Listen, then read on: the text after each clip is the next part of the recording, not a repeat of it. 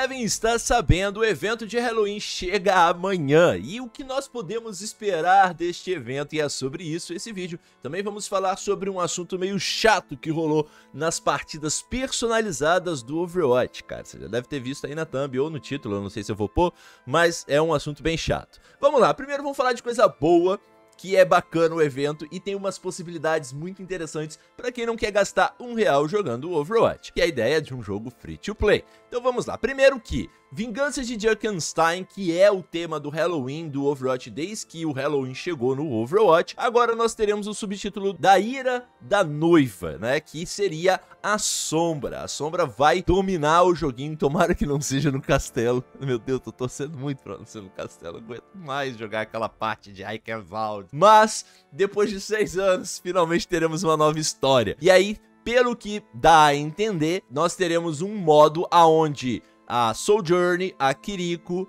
a Ash e a Rainha Junker serão as protagonistas do evento, da, da história ali. E aí, continuando, cara, por que, que eu resolvi fazer esse vídeo? Porque muita gente tem me questionado se o Overwatch 2 trará skins gratuitas para o evento de Halloween. E aí eu vim relembrar vocês de uma coisa que acontecia no Overwatch 1, que eram as skins semanais. Uma das belas e mais incríveis skins que nós tivemos nesses eventos semanais, que é na verdade, nessas semanas de brindes de evento que acontecem dentro de um evento grande como o Halloween, nós temos três semanas onde são liberadas ícones do jogador, spray e uma skin. Na terceira semana do evento de 2019, se não me falha a memória, pode ser 20 ou 18, não sei porque minha memória é meio zoada. A Sombra foi uma das skins mais iradas que a Blizzard liberou, porque é uma skin épica, que foi até prêmio da BlizzCon, cara. Foi uma mega skin baseada na caçadora, se eu não me engano, na caçadora do Diablo. Posso estar enganado, eu, eu me...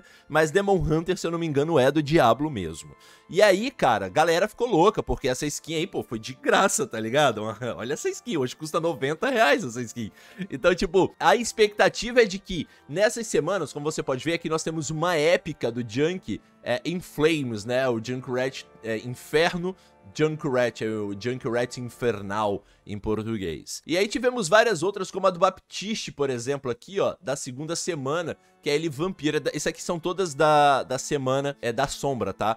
É a do Junk, a do Baptiste e a da Sombra. Eram as três semanas. Isso era free. Você só precisava jogar nove jogos, né? Vencer nove jogos e receber essa skin maravilhosa. E aí aqui, ó, eu trouxe uma outra imagem mais recente de 2020 aonde você tinha que jogar 27 jogos. Na verdade, não precisava jogar 27, né? Se eu não me engano, eram pontuações, vitória dava 3 pontos, derrota dava 1 ponto, e aí você tinha que fazer 27 pontos. Era um negócio assim, eu posso estar enganado, porque eu não joguei o último evento de Halloween, porque eu tava bem frustrado já, porque eram seis, foram seis anos jogando o mesmo evento, já não dava conta. Então, é exatamente o mesmo evento. Agora que nós vamos ter um evento novo dentro do Halloween. E aí, cara, essa skin aqui, ó, também era uma skin free. E eu resolvi trazer ela para vocês verem, ó. Essa daqui da Zarya também foi uma skin free que teve no jogo em evento semanal, aonde você só precisava jogar para receber a skin. E essa do Roadhog foi uma das últimas que eu me recordo. Posso estar enganado, vocês me corrijam aí nos comentários, mas também foi uma das últimas desse evento de Halloween aonde você jogava e recebia a skin. Não, é, não se tem notícia se essas skins poderão ser compradas, mas levando em consideração que eles estavam liberando skins de remix, skins remodeladas, pode ser que elas sejam liberadas pra gente comprar com grana, porque agora o jogo é free to play, qualquer skin vira grana pra Blizzard. Então faria sentido essas skins virem pagas, ok? Então poderia ser liberado comprando, mas quem pôde liberar jogando faturou aí uma skin bem bacaninha. E aí, ao meu ver, é mais do que possível que a partir de amanhã nós tenhamos sim dentro do evento de Halloween a semana onde uma skin será dada. E aí por três semanas, que é a duração total do evento, uma skin por semana. Seria muito legal, até porque a Blizzard está com os preços altíssimos, não é só a comunidade brasileira que está reclamando disso, inclusive eu já fiz um vídeo disso aqui, vou deixar ali no card para você e também aqui na descrição, aonde eu comentei sobre esses preços quase que abusivos, e eu não estou dizendo de valores em reais, eu estou dizendo de 1.900 moedas. Então faria muito sentido para acalentar o público, deixar a comunidade mais felizinha, né? Mandar três skins de graça em eventos semanais pra gente poder fazer ali a sequência de 20 e poucos pontos, 27 vitórias, 27 jogos que seja, para receber a skin que de graça a gente aceita, não é mesmo? Então as minhas expectativas para o evento de Halloween, que começa amanhã de tarde, é que nós tenhamos três skins gratuitas com três sprays e três ícones de jogador, teremos provavelmente um pacote de skins antigas vendendo na loja onde você poderá adquirir é, várias skins de Halloween em conjunto. É, não será barato, possivelmente. Você vai gastar ali uns 300 reais em 5, 6 skins, mas eu acredito que eles vão fazer algo parecido.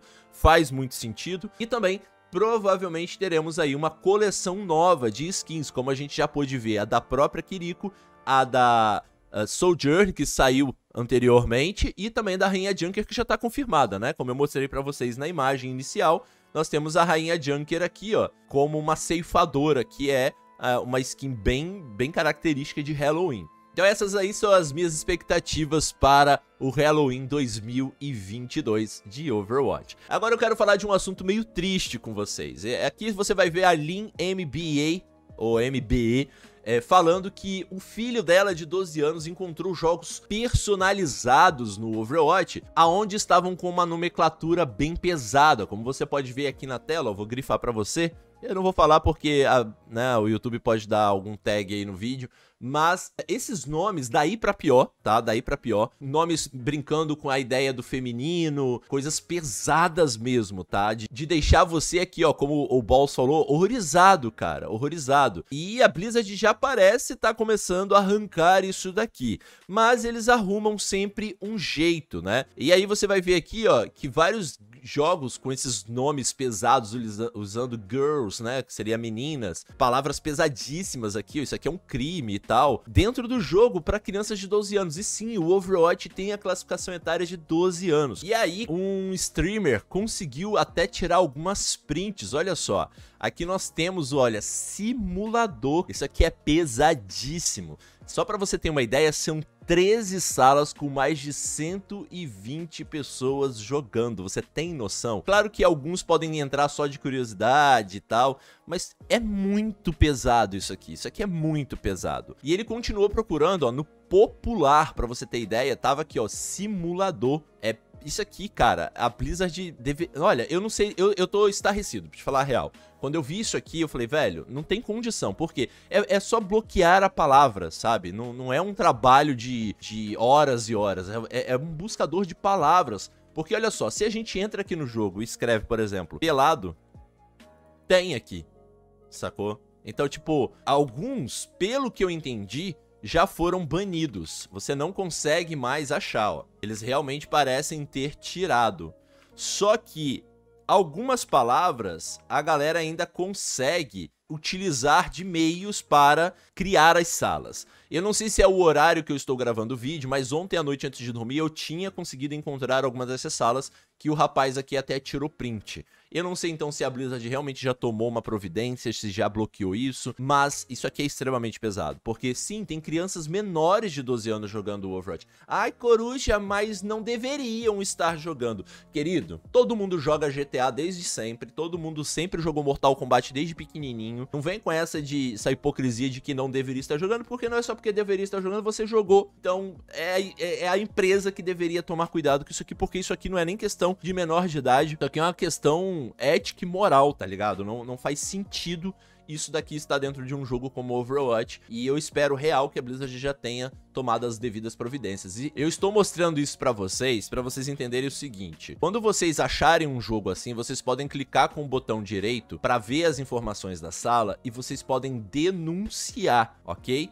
Vocês denunciem sempre que vocês acharem uma sala dessas com esses nomes, com esse tipo de comportamento, porque isso não é bom para ninguém, tá? Principalmente para a própria comunidade do jogo. Então denuncie, ok? Eu espero que vocês tenham gostado do vídeo, desculpa pela quebra dos dois assuntos, mas eu precisava trazer isso pro canal e eu não ia trazer um vídeo só sobre isso. Não esquece de compartilhar o vídeo com seus amigos pelas expectativas e amanhã com certeza teremos vídeos de Halloween, porque eu estou muito empolgado pro primeiro evento dessa nova fase do canal, dessa nova fase do Overwatch, eu tô muito hypado, eu espero vocês aqui. E sim, eu vou fazer livezinha pra gente poder trocar aquela ideia de sempre. Eu espero que vocês tenham gostado do vídeo, eu vou ficando por aqui, você fica por aí.